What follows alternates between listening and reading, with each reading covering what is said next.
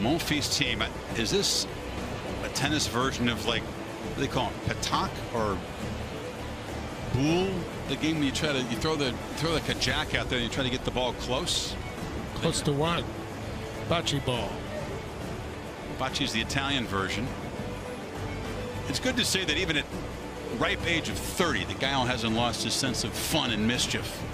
He's got the day off. Uh, he's uh, seems to be loving life. Is he 30 or like 11? You can't you can't tell. That's why we love him.